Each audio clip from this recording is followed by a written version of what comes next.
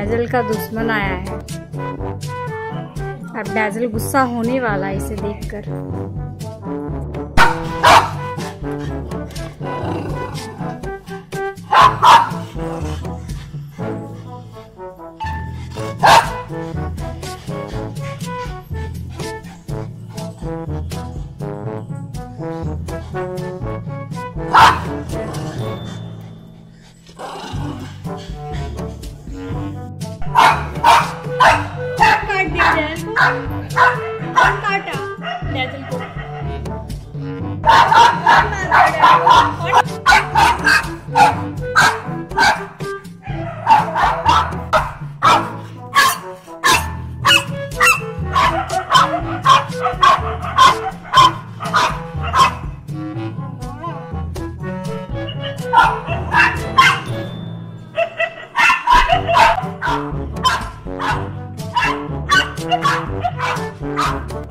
Ah!